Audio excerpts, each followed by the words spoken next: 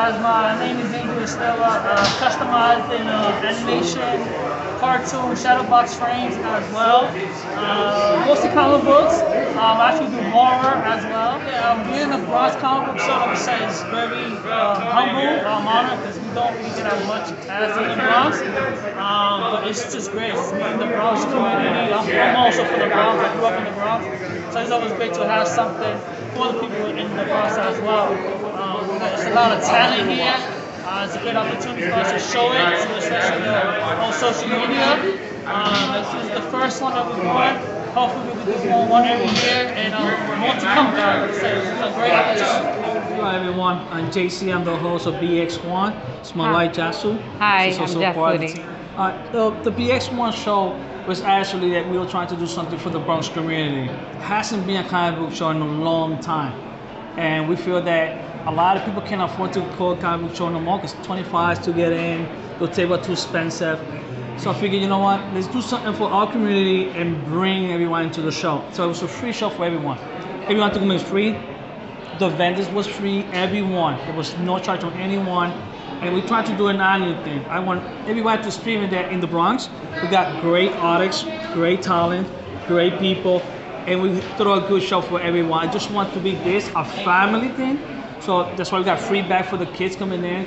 So I personally the kids I want to come in and have a great experience. Walking into the door is a bag with your free stuff. The kids are having a great time. The parents are happy because you know the kids are having a good time and they get to know that the Bronx got more to offer. That's we right. got we got something to offer to everyone out there. We got a great show, great artists, great people, and we're gonna do this.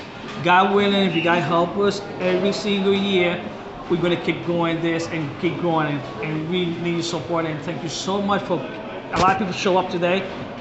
Thank you. But more important, I would like to say is the artists and the vendor, they all helped me set up. I have no experience. This is my first time, and they helped me put this together. Yeah. Thank, thank to them. Otherwise, I couldn't set up the way We I couldn't did. be here. Thank to them. Um, I'm bringing the cosplay uh, because I like to, I want to inspire people to wear a costume and be their own self and um, bring the superheroes they have in the inside. So I want to inspire other people to just enjoy and be themselves and be uh, whoever uh, character they love.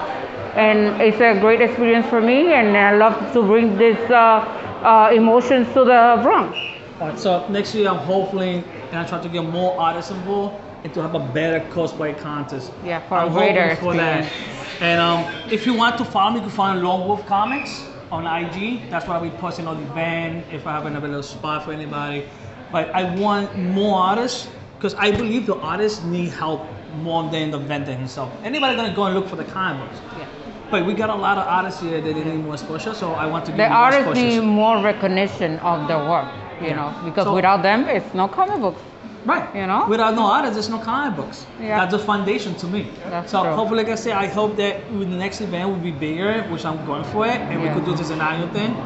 With your support, showing up, you guys can make it happen for That's true. everyone. Yes. Thank you so much, guys. Appreciate it. God bless.